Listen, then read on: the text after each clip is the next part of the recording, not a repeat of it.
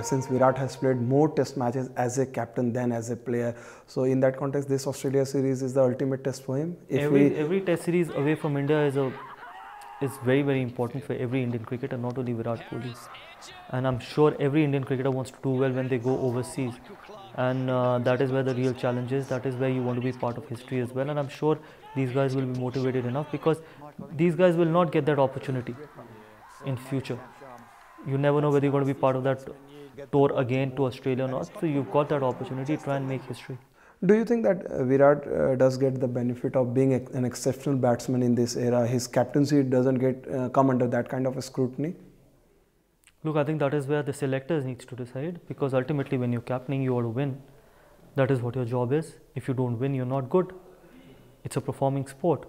If you're not, if team is not winning under your captaincy, it means there's something wrong with your leadership. Your scoring runs doesn't mean that scoring runs doesn't make you a good leader. A good leader is someone who will win everywhere. So probably the greatest of batsmen will never be a greatest of leaders. A greatest of leaders can never be a greatest of batsmen as well. But ultimately, when you're a leader, you got to win.